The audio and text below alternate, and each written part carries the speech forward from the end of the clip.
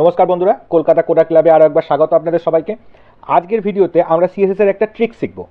Tricks মানে কি? একটা কৌশল। আগের ভিডিওতে আমরা কি শিখেছি? আমরা সিএসএস এর ফ্লোট সম্পর্কে শিখেছি। ফ্লোটটা কি কাজে লাগে? ফ্লোটটা কাজে লাগে আমরা এরকম প্রত্যেকটা এলিমেন্টকে আমরা পাশাপাশি নিয়ে আসতে পারি। ব্লক এলিমেন্টকে আমরা পাশাপাশি নিয়ে আসতে পারি। ফ্লোট লেফট ফ্লোট রাইট এই দিয়ে। ঠিক আছে? আরও একটা উপায় আছে, যেটা আমি আপনাদেরকে আগেই শিখিয়েছিলাম। এরকম কোনো এলিমেন্টকে পাশাপাশি আনতে হলে আমরা কিন্তু ডিসপ্লে ডিসপ্লে যে প্রপার্টি আছে, সেটাই কিন্তু আমরা ইনলাইন ব্লকে কনভার্ট করে দিই। তাহলে পরে ব্লক এলিমেন্টরা পাশাপাশি চলে আসে। তো এইবারে প্রশ্ন হচ্ছে যে, আমি কোথায় ডিসপ্লে ব্লক ইউজ করব আর কোথায় ফ্লোট ইউজ করব?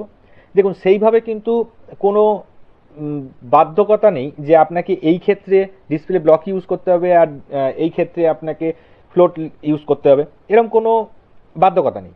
এইবারে আপনার ইচ্ছা, আপনি কোথায় ডিসপ্লে ইউজ করবেন, কোথায় আপনি ফ্লোট ইউজ করবেন?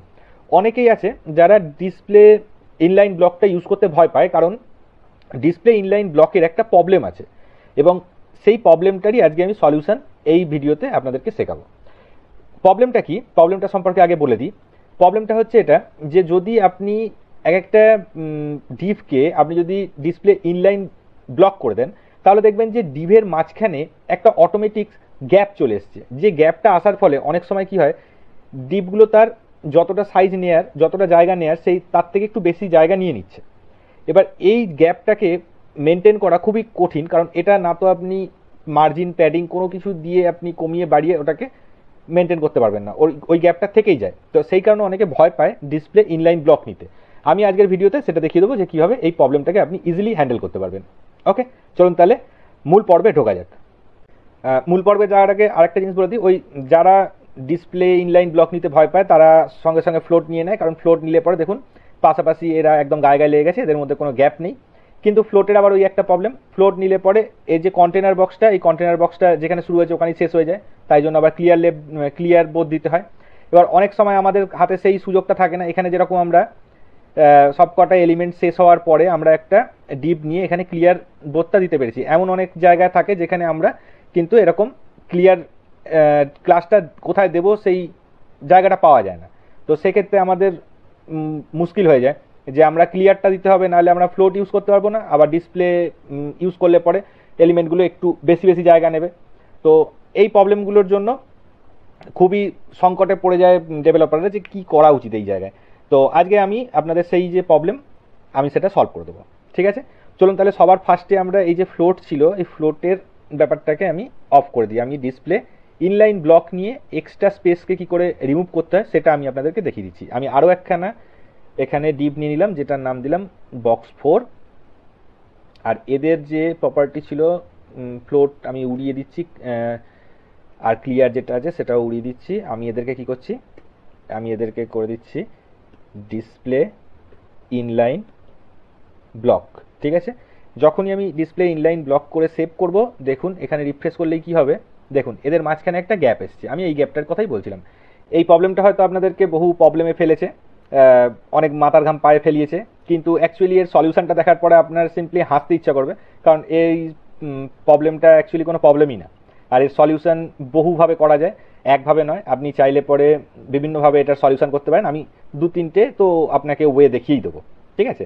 তো যাই হোক সবার আগে জানা উচিত যে এই প্রবলেমটা হয় কেন?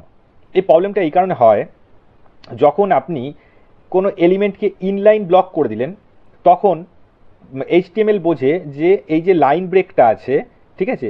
এই লাইনটা ব্রেক হয়ে যে এইখান থেকে পরের লাইনে শুরু হয়েছে ইনলাইন ব্লকের ক্ষেত্রে ওরা এই লাইন ব্রেকটাকে একটা স্পেস হিসাবে কাউন্ট করে। একটা ব্ল্যাঙ্ক স্পেস মারার সমান ওরা কাউন্ট করে। আর তাই জন্য ওরা কি করে? একটা স্পেস দিয়ে দেয় দুটো এলিমেন্টের মাঝখানে। সেই স্পেসটাই হচ্ছে এটা। সেই রকম এইটা এবার এটার মাঝখানেও একটা স্পেস দিয়ে নিয়েছে। এগুলো কিন্তু সব একটা স্পেসের যে জায়গাটা হয়, একটা ব্ল্যাঙ্ক স্পেস মারলে আমরা দুটো লেখার মাঝ- মাঝখানে যেটুকু স্পেসটা পাই, সেইটুকু স্পেসই কিন্তু এইখানে পাচ্ছি। ঠিক আছে? তো এটাই হচ্ছে প্রবলেম যেই ব্ল্যাঙ্ক স্পেসটা চলে আসে বলে এটা কিন্তু হয় প্রবলেমটা তাহলে এটাকে সলভ করতে গেলে সবার আগে আপনি যদি এরকম করেন এই দুটো লাইনের মাঝখানে কোনো আপনি পার্থক্যই রাখলেন না, আপনি দুটোকে একদম একটার গা থেকে আরেকটা শুরু করলেন।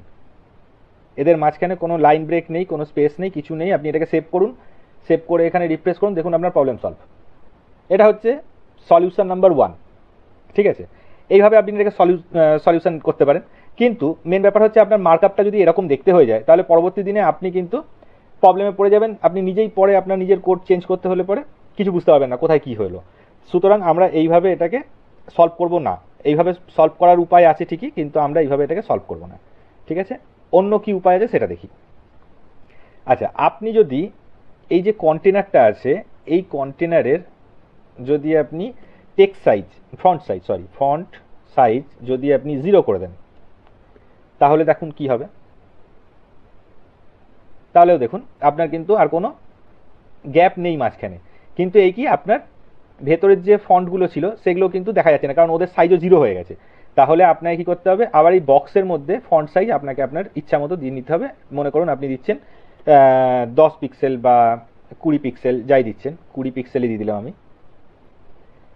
সেক্ষেত্রে আবার আপনার বক্সের ভেতরের লেখাগুলো ফিরে আসবে, কিন্তু বক্সের মাঝখানে কোনো গ্যাপ নেই। আপনি কি করলেন? আপনি জাস্ট ফন্ট সাইজ জিরো করে দিয়েছেন। আপনি ফন্ট সাইজ জিরোটাকে কিছুক্ষণের জন্য কমেন্ট করে দিন। দেখুন, আবার ওইটা ফিরে আসবে। গ্যাপগুলো ফিরে আসবে। কিন্তু আবার যেই আপনি ফন্ট সাইজটা দিয়ে দেবেন জিরো তখন আপনার এই গ্যাপগুলো কিন্তু মেকআপ হয়ে গেল। ঠিক আছে? এক্ষেত্রে আপনার মার্কআপটাও থাকল মার্কআপের মতো এবং আপনার কোনো ব্রাউজারে গ্যাপও আসলো না। ঠিক আছে? এই প্রবলেমটা সলভ হলো এইভাবে? ওকে আরও একটা সলিউশন আমি আপনাদেরকে দেখিয়ে দিচ্ছি। এবার কখনো কখনো এইরকম ফন্ট সাইজ জিরো নেওয়াটা একটা প্রবলেম হয়ে যায়। কারণ হয়তো দেখা গেল যে এই এলিমেন্টের ভেতরে আরও অনেক সাব এলিমেন্ট রয়েছে এবং সবার ক্ষেত্রে ফন্ট এইভাবে চুজ করা অনেক সময়তে অনেক প্রবলেমের ব্যাপার হয়ে যায়। তো যাই হোক, আমাদের কাছে যদি দু তিন রকম ওয়ে থাকে, তাহলে আমরা কোনো না কোনো একটা ওয়ে দিয়ে আমরা প্রবলেমটা সলভ করতে পারব।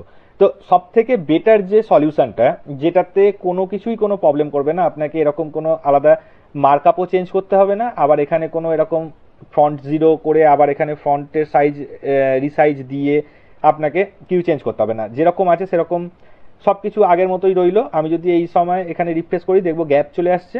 আমি কি করব? আমি জাস্ট কমেন্ট করার যে পদ্ধতিটা, সেটা আমি ইউজ করছি। বোঝা গেল? আমরা কি করছি? এইখান থেকে এটাকে কাট করছি। কাট করে ঠিক এইখানে দিয়ে দিচ্ছি। তাহলে কি হচ্ছে? এখানে কিন্তু কোনো গ্যাপ থাকবে না। তাহলে কি হচ্ছে? এই মার্কআপটা শেষ হলো, হওয়ার পরে এখানে কমেন্ট শুরু হচ্ছে। কমেন্টটা এখানে শেষ হচ্ছে, তারপরেই আবার এটা শুরু হয়ে যাচ্ছে। এইচটিএমএল বুঝবে যে না, মাঝখানে কোনো লাইন ব্রেক নেই। তো এইভাবে আমরা এইচটিএমএলকে বোকা বানাতে পারি। সেক্ষেত্রে আমাদের ডিজাইনটাও ঠিক থাকবে মার্কআপটাও ঠিক থাকবে। আর আপনাকে আলাদা করে কোনো ফন্ট সাইজ কিছু দিতে হবে না। দেখুন, কীভাবে এটা আমরা ফিক্স করে দিলাম। এখানে আমরা সেভ করলাম, এই যে গ্যাপটা আছে রিফ্রেশ করলে চলে যাবে। গেল চলে। বোঝা গেছে? ভেরি ইজি এই প্রবলেমটা হয়তো আপনাকে অনেক মুশকিলে ফেলেছে, কিন্তু দেখুন, এর প্রত্যেকটা সলিউশনই এত ইজি যে এটা জানার পরে আপনি ভাববেন যে, দূর, এটা আবার কোনো প্রবলেম নাকি? তো ঠিক আছে বন্ধুরা, যদি আমার ভিডিওটা ভালো লাগে, আপনি যদি এখান থেকে কিছু শিখতে পারেন, তাহলে অবশ্যই এটাকে লাইক করতে ভুলবেন না। আমি মোটিভেট হব তাতে। পরবর্তী দিনে আমি আবার নতুন ভিডিও নিয়ে আসব আপনাদের সামনে। ততদিন খুব ভালো থাকবেন। আমার চ্যানেলের সঙ্গে জুড়ে থাকতে হলে আপনাকে সাবস্ক্রাইব বাটনে ক্লিক করতে হবে আর বেল আইকনে ক্লিক করতে হবে। চলুন বন্ধুরা, পরের ভিডিওতে আপনাদের সঙ্গে আবার দেখা হচ্ছে। ততদিন খুব ভালো থাকবেন। বাই